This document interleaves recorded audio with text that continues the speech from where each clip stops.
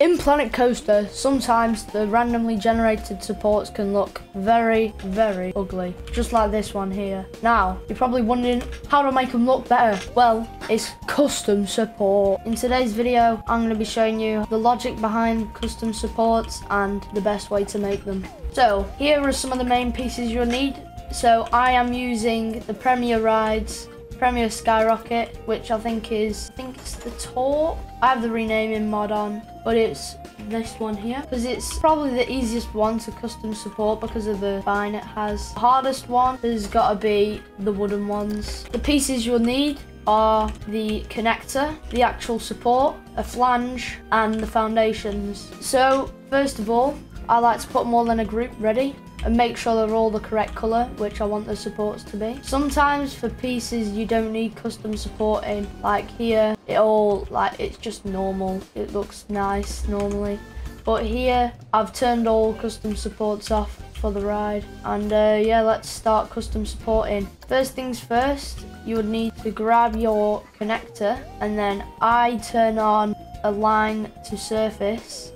I'm gonna have my first support around here put angle snap on, just like that.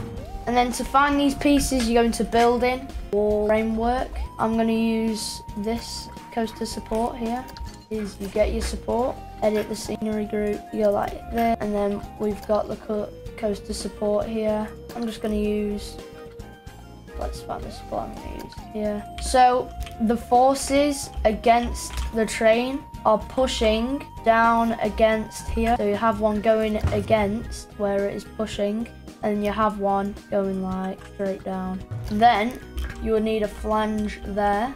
So let's grab our flange. Here we go, we've got our flange here. Let's put it into the right position. So these two pieces here connect to each other. That's why I use the flange. That should be enough for this because it's only a small custom support. And then now you get the final piece, which is the foundations, right? So now we have one custom support.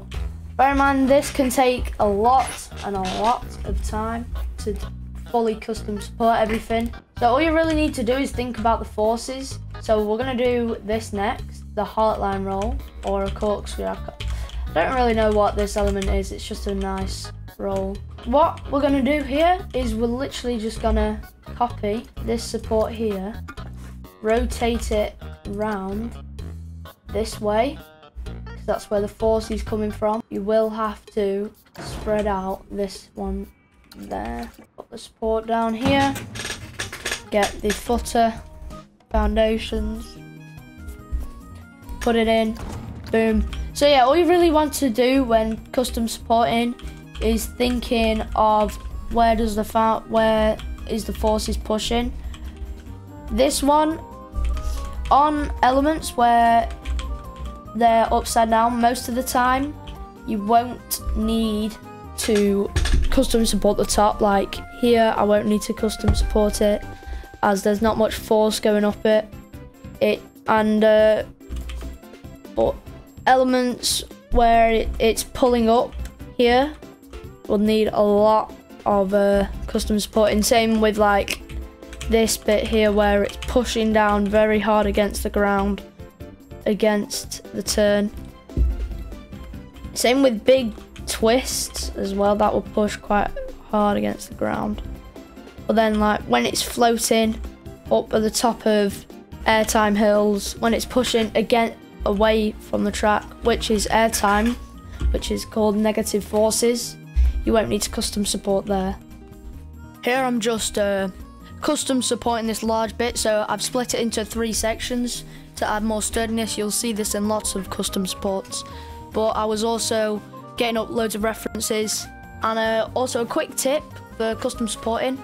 Uh, make sure the flanges are in places where it would it would seem realistic to where it could fit on a truck. Um, but yeah, it doesn't matter how weird your custom supports can be. Uh, I've seen some very funky custom supports. And that is custom supporting. If you guys need any help with custom supporting, feel free to join the Discord uh, in the description and uh, I'll give you tips on your custom supporting and how to make it look better. But I'm just going to quickly give you guys a POV. This will be in my new park that I'm currently working on. It's an adventure park. It's called Mania Adventure. Keep in mind, fully custom supporting a ride can take up to two hours.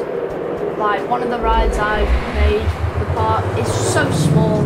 It was the first ride I've ever custom supported, and it was just so long to custom support. But it looks so much better. Definitely the best ride I've ever made.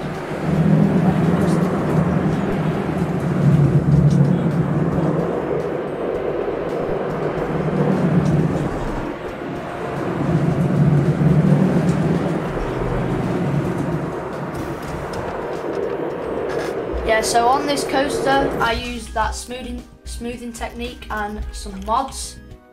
They're both uh, on my channel. You can go watch them both tutorials, and I'll see you guys in the next one.